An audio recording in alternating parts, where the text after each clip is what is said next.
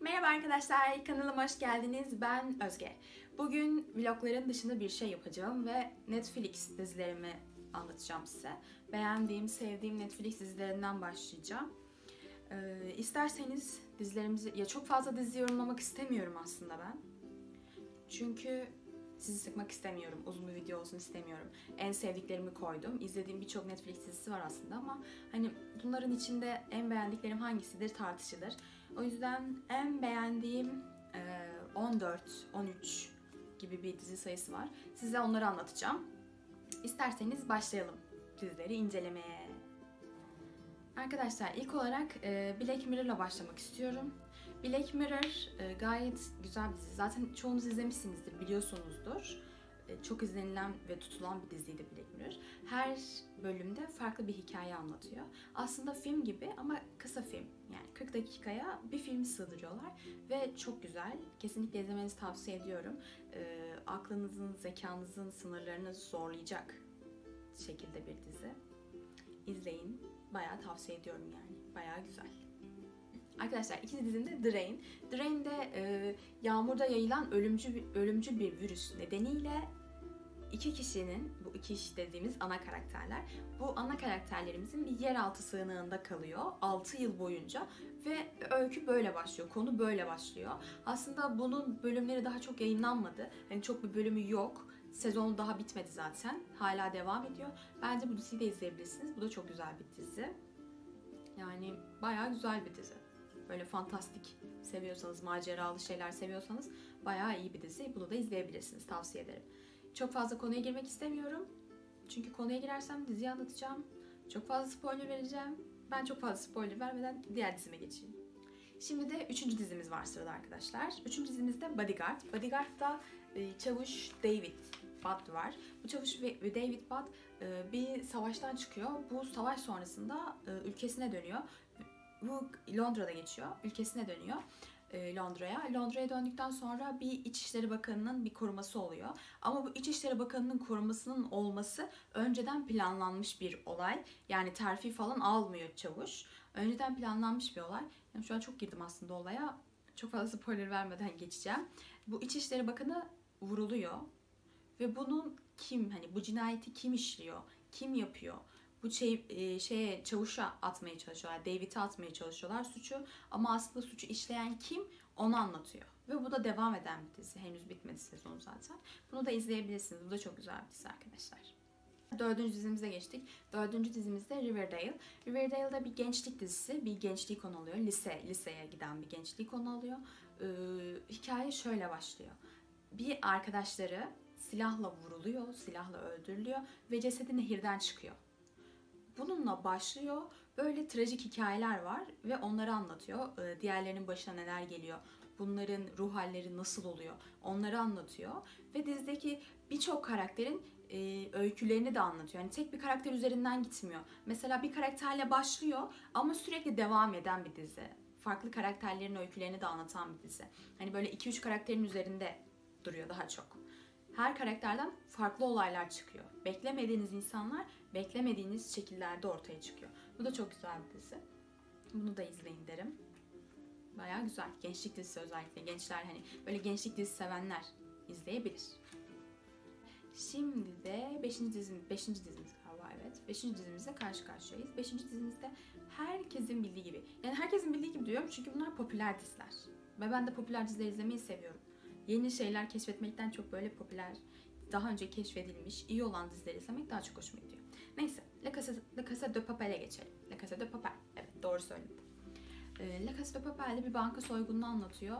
Ve arkadaşlar iki sezon var. Ee, iki sezon boyunca da banka soygununu anlatıyor. Yani aslında baktığınızda çok yavaş gelişen olaylar ama komple e, hani bir bankada geçtiği için olaylar çok farklı şeyler de oluyor. O yüzden çok sıkıcı gelmiyor. Anlamıyorsunuz nasıl geçtiğini zaten bölümlerin. İki sezon var. İki sezonda bankada geçiyor. Baya güzel. E, hepsinin tüm karakterlerin farklı hikayeleri var ve bu farklı hikayeler üzerinde duruyorlar. E, özellikle Tokyo ve Profesör üzerinde daha çok duruyorlar zaten. Baya güzel bir dizi yani. İzlemediyseniz izleyin tavsiye ederim. Altıncı dizimizle birlikteyiz. Altıncı dizimizde You. Ee, ya ben bunu aslında yeni başladım Yu'ya. Tam bitirmedim. Ama e, güzel bir diziye be- benziyor. Çalkantılı bir dizi bu da. Bir karakterimiz var. Aslında bu karakterimiz çok pasif bir karakter. Hani böyle aktif sosyal bir karakter değil. E, sürekli kitap okuyan, pasif karakterli bir insan. Fakat bunu dizide çok güzel canlandırmış oyuncu. Ve bu pasif karakterimiz hiç kimsenin aklının alamayacağı şeyler yapıyor. Cinayetler işliyor, yalanlar söylüyor, hırsızlıklar yapıyor. Birçok şey yapıyor ve bunu sadece bir kız için yapıyor. Ve gayet güzel dizi. Aslında birazcık da psikolojik bir yanı var. Ee, bu gencin biraz da psikolojisini işliyor. Bu da gayet güzel bir dizi. Devam edeceğim. Sizin de izlemenizi öneririm. Bayağı güzeldi başlangıcı. Siz de izleyin yani. Bence memnun kalırsınız. Şimdi diğer dizimize geçelim. Bu da 7. dizimizdi galiba. Ee, bu da 30 Reasons Why. 30 Reasons Why. Ölmek için 13 neden. Ee, arkadaşlar bu diziyi de ben izleyeli bayağı oluyor ama bayağı güzel bir diziydi yani. Bayağı tuttum diziyi. Bayağı güzeldi yani. Çok sevdim. Değişik bir konusu var. Ee, anlattığı şey bir kız intihar ediyor ve bu intiharına neden olan şeyleri kayıt altına alıyor. Kasetleri alıyor.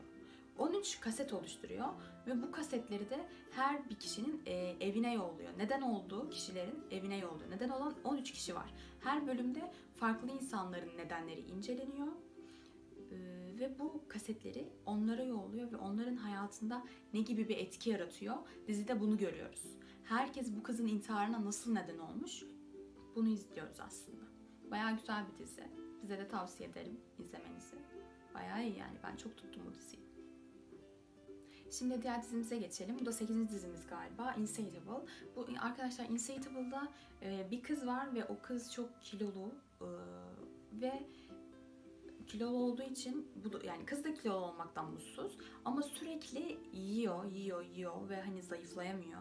Ee, insanlar onunla dalga geçiyor. İnsanlar onunla dalga geçtikçe daha da çok yiyor Ee, ve bunu konu alıyor. Daha sonra bir dalga geç e, dalga geçen bir çocuk var bu kızla ve bu kız da bunun sayesinde bir kaza geçiriyor. Ve bu geçirdiği kaza sonucu yemek yiyemiyor. Bir yıl boyunca yemek yiyemiyor. Sıvı gıdalarla besleniyor ve bunun sayesinde zayıflıyor. Çok güzel bir kız haline dönüşüyor. Ama bu çok güzel bir kız haline dönüşen bu kızın hala e, kendine karşı özgüveni eksik. Ve özgüvenin eksik olmasından dolayı e, kendini kanıtlamayı, ispatlamaya çalışıyor. Ve bu ispatlamadan e, yola çıkarak dizide hikayeler oluşuyor. Ve bu hikayeleri anlatıyor aslında dizi. Bayağı güzel bir dizi. E, sonunu çok garip bitirdiler. E, son bölümünden sonra acaba nasıl devam edecek bilmiyorum. Şu an birinci sezonu, e, ikinci sezonu da yayınlanacak kısa bir zamanda. Ve hani diziye nasıl devam edeceklerini gerçekten bilmiyorum. Garip bir şekilde bitirdiler çünkü. Bence bu diziyi de izleyebilirsiniz. Bu da bir gençlik dizisi. Lisede geçiyor. Benim çok hoşuma gidiyor böyle gençlik dizileri, lisede geçen diziler. Özellikle Amerikan dizilerinde geçen diziler. Bayağı hoş yani. Bence izleyin. Hmm, Şimdi 9. dizimizle devam ediyoruz arkadaşlar. 9. dizimiz de Orange is the New Black. Ee, bu diziyi de ben yeni izlemeye başladım ama bu bayağı eski bir dizi. Sezonları bayağı var yani. Ee, bu diziye de devam edeceğim. Bu dizide bir bir kadın var ve bu kadın gençliğinde bir suç işliyor. Bir uyuşturucu satan bir kadına yardım ediyor, yardıma yataklık ediyor. Bundan dolayı da kadın e, ilerleyen zamanlarda, ilerleyen yıllarda suçunu itiraf ediyor ve bu itirafında bu kadın da yer aldığı için bu kadını da tutukluyorlar. Ve bu kadın hani e, tutukluyorlar ve tutukladıklarında başına gelenler anlatılıyor. Nişanlısı var. Nişanlısından ayrılıyor. Aslında yeni evlenecekler. Evlenemiyorlar. Kadın hapse girmek zorunda kalıyor. Nişanlısından ayrılıyor. Ve hapiste başına neler geliyor. Bunu anlatıyor. Bu da güzel diziye benziyor. Ben izlemeye devam edeceğim. Bence siz de izlemeye devam edebilirsiniz. Yani izleyebilirsiniz. Gayet güzel bir dizi bence. Şimdi diğer dizimize geçelim. Geçelim. Arkadaşlar bu dizimizde Stranger Things. Bu da popüler bir dizi haline geldi. Son zamanlarda bayağı izlendi. Ama ben ya ben bunu aslında e, önceden izlemiştim bir iki bölümünü. Fakat beni böyle çok sarmadı. Yani böyle çok akıcı bir dizi gibime gelmedi. Bıraktım. E, şimdi yine izlemeye başladım. Gayet güzel bir dizi aslında. Bayağı iyi gidiyor şu an. Bu da e, küçük çocuklar var. Ve bu küçük çocuklardan birisi bir gece yarısı kayboluyor. Ve onun kaybından yola çıkarak hikaye oluşuyor. Onun kaybından yola çıkarak hikaye anlatılıyor. Ee, doğaüstü şeyler var dizide. Yani böyle macerayı, fantastik falan seviyorsanız bayağı izlenebilecek dizi Stranger Things'te. Bayağı iyi yani. Bunu da izleyebilirsiniz. Ben izlemeye devam edeceğim. Şimdi diğer diziye geçelim.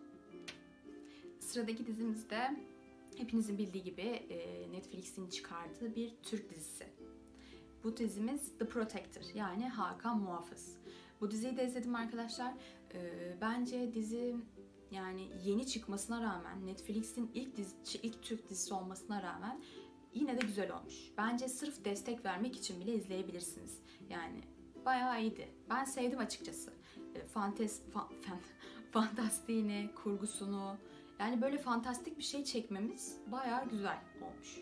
Dramdan çok fantastiğe yön vermemiz bayağı iyi bence. Birazcık konusundan bahsedeyim. Konusu İstanbul'u baz alıyor zaten. İstanbul'u anlatıyor. İstanbul'un birçok tarihi mekan, mekanında geçiyor. Ve bu tarihi mekanları anlatıyor. Bu da hani İstanbul'un tanıtım açısından da güzel bir şey olmuş bence. Bu Hakan Muhafız. E, muhafızlar var ve bu muhafızlar Hakan'ın babasından itibaren devam ediyor. Hakan'ın babası öldürülüyor ve muhafızlık Hakan'a geçiyor ve Hakan'ı bulmaya çalışıyorlar. Yani Hakan'ı buluyorlar sonradan. Ee, üzerine giydiği bir gömlek var. O gömleği Hakan'a giydiriyorlar ve o üzerine oturuyor ve onun muhafız olduğunu anlıyorlar. Hakan ilk başta buna inanmak istemiyor ama daha sonra gördüğü şeyler üzerine mecburen inanıyor. Bu gömlek üzerindeyken kafasını ateş ediyorlar ve ölmüyor. Ee, bir süre sonra e, eski haline geliyor, ölmüyor. E, ve bunun üzerine de Hakan kendisinin muhafız olduğunu anlıyor ve İstanbul'u kurtarmak için yola çıkıyor. Hikaye böyle. Birinci sezonu gayet güzeldi. İkinci sezonu da sabırsızlıkla bekliyorum. İkinci sezonu da izleyeceğim. Siz de bence sırf destek olmak için bile açıp izleyin derim. Arkadaşlar bu da son dizimiz Elit. Ee, Elit'te devlet lisesinde okuyan 3 öğrencinin özel ve seçkin bir okula geçmesini anlatıyor. Ee, bunlar özel ve seçkin bir okula gidiyorlar, başlıyorlar. Fakat bunlar başladığından itibaren okulda hırsızlık olayları, cinayet olayları gibi şeyler oluyor. Ama bunları kim yapıyor acaba? Özel lisedeki öğrenciler mi, devlet lisesinden gelen öğrenciler mi yapıyor? Bunları da dizide izleyip görüyoruz.